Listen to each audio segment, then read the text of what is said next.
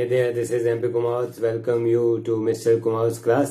Uh, आज एक uh, बहुत ही इंस्पिरेशनल काइंड ऑफ़ कोटेशन मैं प्रेजेंट करने जा रहा हूँ और कोटेशन इस प्रकार से है there is no individual person or any circumstances that I am sorrowful it's me and my ignorance इस कोटेशन का जो भाव इस प्रकार से कि there is no individual person कि ऐसा कोई भी व्यक्ति नहीं है कोई भी ऐसा इंडिविजुअल नहीं है और एनी सर्क्यूमस्टेंसेस या और कोई भी ऐसी सर्क्यूमस्टेंसेस ऐसी परिस्थिति, ऐसी कंडीशन नहीं है दैट आई एम सोरफुल कि वो मेरी उदासी में होने का कारण हो, जो मेरी परेशानी का कारण हो।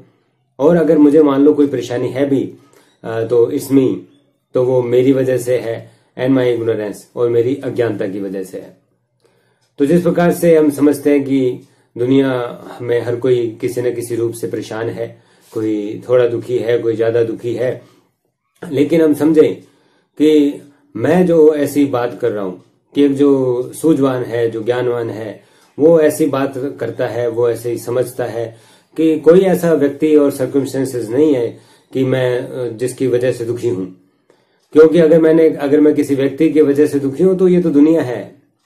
हर कोई कुछ न कुछ बात करेगा ही करेगा। मैं अगर यही सोचता रहूँ कि मेरे बारे में उसने ऐसी बात कर दी, मेरे बारे में उसने ऐसा बोल दिया तो फिर मैं हमेशा ही दुखी रहूँगा। क्योंकि ये सब आपके अपोजिट ही बात करेंगे। आपके फेवर में गिनती के कुछ आपका परिवार ही हो सकता है। परिवार में भी आपके खिलाफ अपोजिट बोलने वाले ही होंगे। तो ऐसे में तो आप दुखी रहोगे हमेशा। तो आपके दुख का कारण ये नहीं है कि आपने अपनी खुशी का रिमोट किसी और के हाथ में दे दिया है। कोई और अगर अच्छा बोलता है तब आप खुश होते हो। कोई बुरा बोलता है तो आप दुखी हो जाते हो। तो इस वजह से दुखी नहीं हूँ। और एनी सर्क्यूमस्टेंसेस या हो सकता है कोई ऐसी सर्क्यूमस्टेंसेस कोई परिस्थितियाँ बनी हुई हो। मान लो पैसे की कमी है, और व्यवस्था सही नहीं है, शरीर सही नहीं है, कुछ ऐसी परिस्थितियाँ बन गई है जिसकी वजह से मैं दुखी हूँ। तो ऐसा भी नहीं है। तो दुख का कारण क्योंकि परिस्थितियाँ तो सबके जीवन में आनी है। सुख दुख किए तो जीवन के दो पहलू के रूप समान बताया गया जिनको। तो सुख दुख तो हर व्यक्ति के जीवन में है। तो अगर मैं दुखी हूँ तो ना मैं किसी इंडिविजुअल की वजह से दुखी हूँ, ना मैं किसी सर्क्यूमस्टेंसेस की वजह से हूँ। अगर मैं दुखी हूँ, अगर मैं सोरोफुल हूँ इट्स मी तो वो मेरी वजह से हूँ। क्योंकि मैं ही अपने मन में कुछ ऐसी बातें किया रहता हूँ, क्योंकि मुझे समझ नहीं है, मुझे अज्ञानता है। जब तक अज्ञानता है, तब तक मैं इन बातों को नोटिस करता हूँ। मैं ये नहीं जानता, ये नहीं समझने की कोशिश करता कि दुनिया है, दुनिया में हर प्रकार की बातें होंगी ही, लेकिन मैं उनकी तरफ़ नोटिस नहीं करूँ। मैं अपने मार्ग पर, अपने पाथ पर जो एक एम की तरफ़ है, उधर आगे बढ़ता रहूँ। तो इस प्रकार की समझ मुझे नहीं होती। तो ऐसी परिस्थिति में मैं दुखी रहता हूँ, दुख का कारण मैं ही हूँ। मैं ही अपने दिमाग के अंदर ऐसे ख्याल ऐसी बातें जो है, विचार करता रहता हूँ। उसने क्या कहा होगा, वो क्या बात कर रहा है, वो उसने ऐसे कैसे कहा मेरे साथ ऐसा कैसे हुआ? मेरे, मैं तो इतनी भक्ति करता हूँ, मेरे साथ इतना बुरा क्यों हुआ? तो इस प्रकार की जो एक ख्याल है, जो दिमाग बुनता रहता है, जिसकी वजह से मैं दुखी हूँ।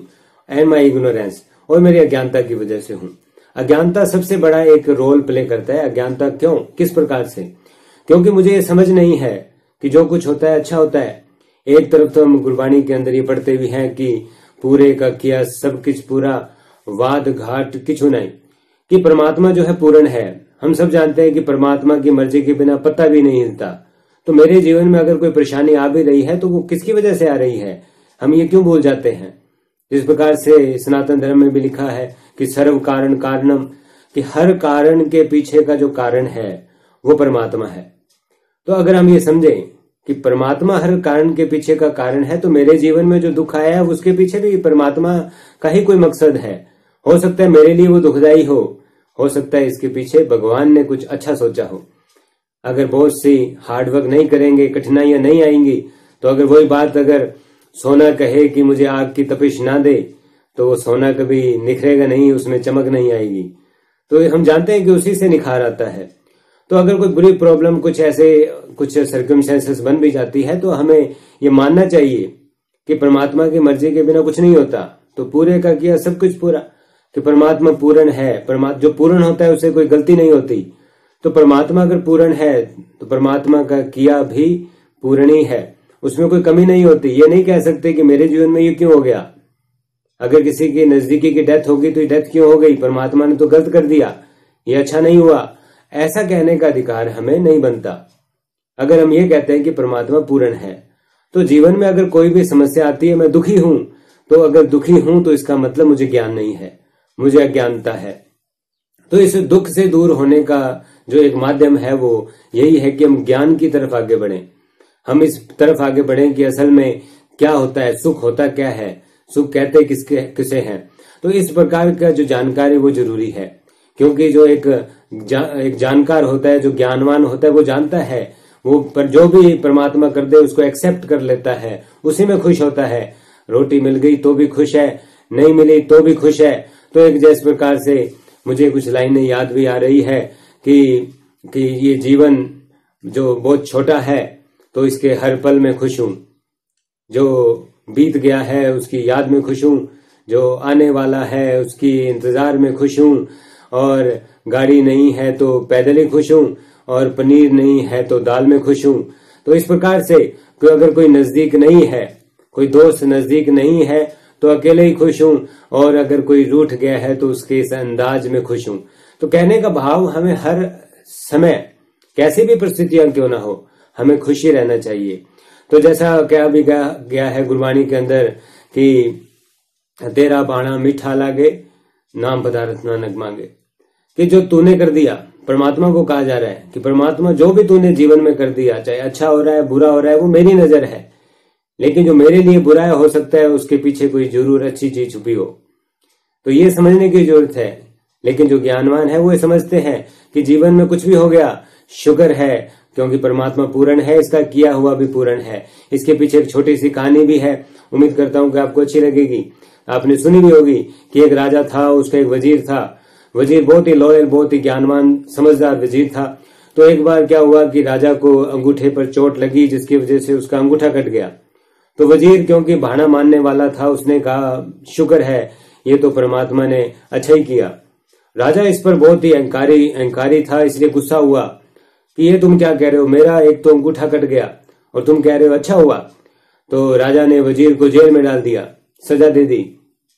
और राजा जो है, वो शिकार पर निकल गया और शिकार पे जाते हुए जब देखा रास्ते में कुछ लुटेरों ने, कुछ आदिवासी टाइप के लोगों ने उसको पकड़ लिया नहीं जानते कि राजा कौन है। उसे, उन्हें मतलब ही नहीं कोई। उन्होंने उसे पकड़ लिया क्योंकि उन्होंने तो बलि चढ़ानी थी। लेकिन जैसे ही राजा की बलि चढ़ाने लगे, देखा कि उसका अंगूठा कटा हुआ है।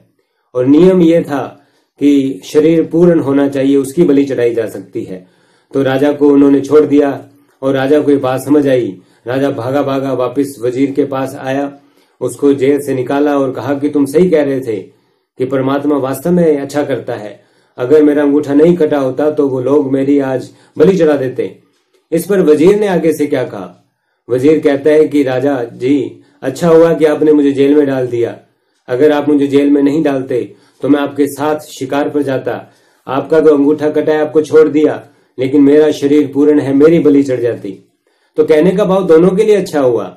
जो कुछ होता है अच्छा ही होता है। तो इस प्रकार की अगर भावना, इस प्रकार की हम सोच दिमाग में रखते हैं फिर किसी प्रकार का कोई दुख नहीं रहता। क्योंकि यही बात है कि हम ज़्यादा क्यों सोचते हैं? जैसे किसी शायर ने कहा भी है कि तू क्यों सोचता है कि कैसे कटेगी? तुम क्यों नहीं सोचता कि अब तक कैसे कटी है? तो जैसे अब तक अच्छी कटी है, कट रही है, आगे भी अच्छी कटती रहेगी। वैसे इस निरंकार परम पिता परमात्मा का इसका सहारा लेते हुए हम ऐसे ही आगे बढ़ते रहें। जीवन में खुशियों को एंजॉय करते रहें। क्योंकि जो कुछ हो रहा है, सब कुछ अच्छा ही हो रहा है। जो हो रहा है अच्छा हो रहा है। जो हुआ, वो अच्छा हुआ। और जो होगा, वो भी अच्छा होगा। इस विश्वास के साथ आगे बढ़ते रहें। अगर आपको अच्छा लगा हो, और आगे भी इसी प्रकार की वीडियोस अगर आप देखना चाहते हो तो इस यूट्यूब चैनल को ज़रूर सब्सक्राइब कर दें। दोस्तों के साथ भी शेयर करें। और आगे इस प्रकार से आपको बहुत से जो मोटिवेशनल काइंड ऑफ़ कोटेशन सुनने को मिलती रहेगी। Thank you very much